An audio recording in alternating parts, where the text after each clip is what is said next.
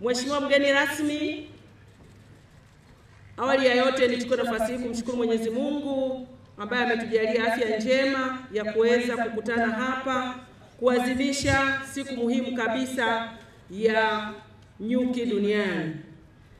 Lakini kipekee nimshukuru sana na kumpongeza Mheshimiwa Rais wetu wa Jamhuri ya Muungano wa Tanzania Mheshimiwa Dr. Samia Suluhu Hassan kwa namna ambavyo amekuwa akielekeza na kusisitiza tulinde maliasili zetu zilizopo, lakini tuendeleze utalii. Mheshimiwa mgeni rasmi, leo tunashuhudia moja ya maliasili tunayoiadhimisha leo ambao ni mdudu nyuki, na kama ambavyo umetembelea mabanda yetu umeona namna ambavyo wadau wetu wanasisitiza namna ya kumlinda mdudu huyu nyuki.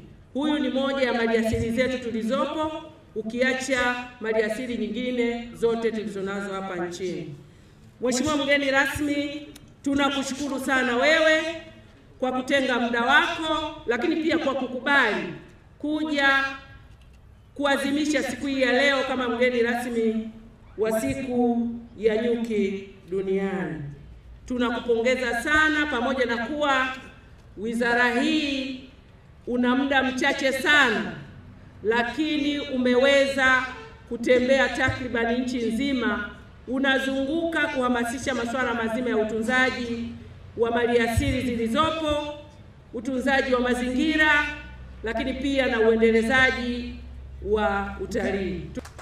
Mheshimiwa mgeni rasmi, nimepewa kazi moja ya kukukaribisha ili uweze kwanza kabisa utuzindulie mwongozo ambao utatumika kwa ajili ya kumtunza huu mdudu nyuki, lakini pia unaenda kutuzindulia kibanda maalum cha biashara ya mazao ya nyuki. Bila kupoteza muda, Mheshimiwa mgeni rasmi, tunakukaribisha sasa uweze kutuzindulia mwongozo huu na uweze kuzindua kibanda maalum cha biashara, na baada ya hapo, Mheshimiwa mgeni rasmi, utatupa na saa zako, hususani wadau wa nyuki tulioko hapa, tusikilize sana maelekezo ya Mheshimiwa Waziri, tusikilize sana namna ya kumtunza mdudu huyu nyuki.